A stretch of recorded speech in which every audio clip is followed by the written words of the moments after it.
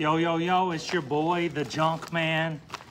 And um, we're gonna do an, an opening of an MRE that we found. I got a whole box of these. I know you guys are jealous, but this one is menu number 19, beef patty, jalapeno jack.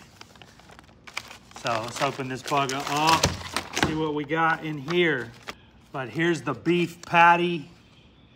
We got uh, cherry blueberry cobbler. I'm looking forward to that. Wheat bread, beverage, orange beverage, nut raisin mix. Last but not least, we've got cheese spread with bacon. Probably gonna be out of commission after I eat this for about three days, but it's sometimes it's good to get a cleanse every now and then. Let's get to business. Oh my gosh, check this out. So I did like a minute and um, the cheese is, maybe it was supposed to go on top of there. I don't know. Um, but I'm gonna give this a taste.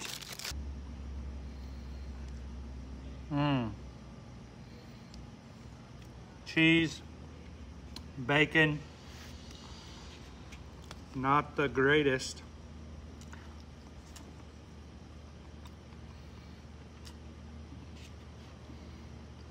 hamburger, whatever this is,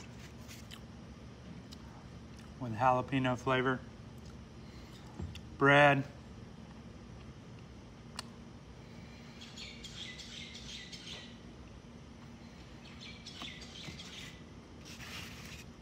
It's okay. I'm gonna move on. I give it six out of 10. All right, it's opened up. This look like a jelly in there. Blueberry cobbler.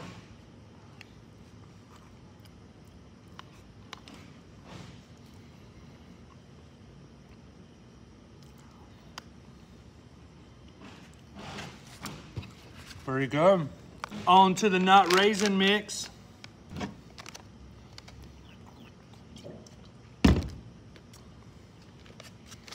nut raisin mix.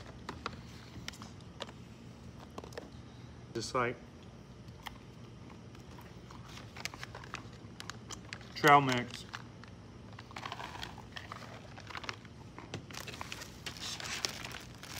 Boom. So there you have it, folks.